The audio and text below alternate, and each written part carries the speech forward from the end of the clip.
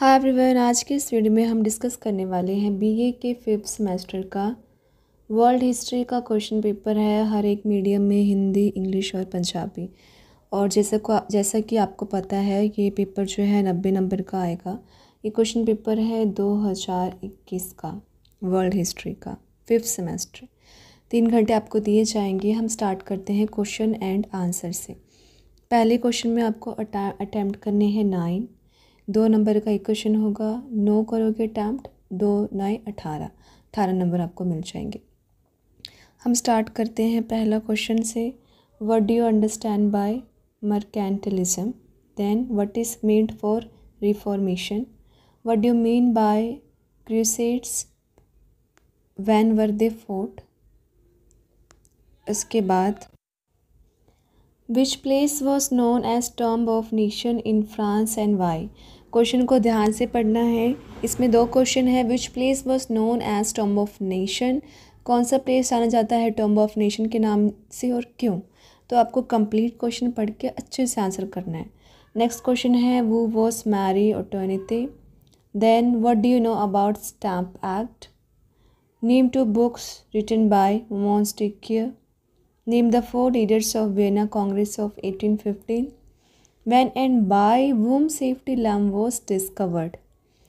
Which country was known as the sick man of Europe? What do you know about Carbonary Society? Who was Garibaldi? What was Jolvarian? Right to causes of Crimean War. When did Bismarck become the Prime Minister of Persia, Persian Imperial at that time?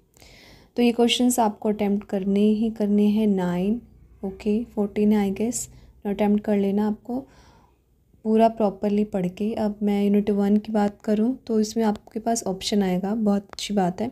तो जो आपको अच्छा लगता है सबसे अच्छा आता है ज़्यादा कंटेंट आप लिख सकते हैं मेक श्योर वही आप वही क्वेश्चन अटैम्प्ट करें।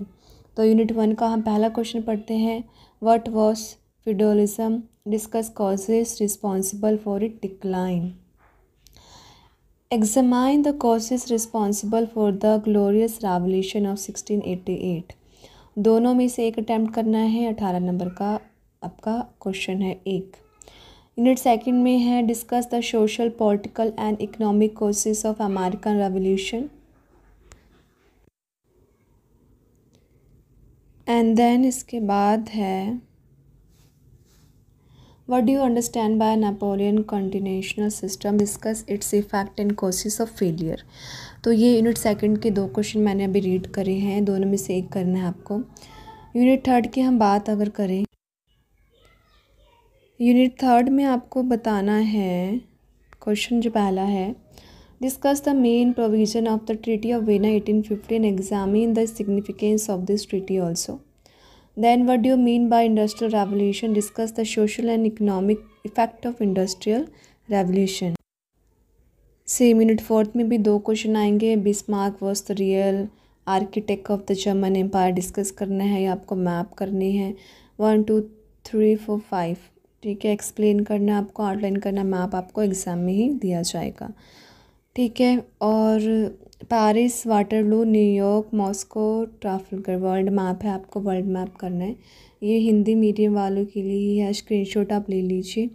और फिर मैं पंजाबी मीडियम वालों का भी क्वेश्चन पेपर शो कर देती हूँ, ठीक है? हिंदी मीडियम भाग व एक भाग, दो सेम ही अटैम्प्ट करना है हिंदी मीडियम वालों को भी। ऑप्शंस दिए गए हैं और हिंदी में ही आपको मैप भी फिर फिल करना है। मैप आप देख लीजिए वर्ल्ड मैप कैसा होता है, ये वर्ल्ड मैप है। ये मैप आपको पेपर में ही दिया जाएगा और ये जो है पंजाबी मीडियम वालों के लिए आप स्क्रीनशॉट ले सकते हैं। कोई भी डाउट है, कोई क्वेश्चन है, आप प्लीज़ कमेंट में ज़रूर पूछिए। Thank you so much for watching my video if you like it please do like comment and subscribe to my channel thank you guys bye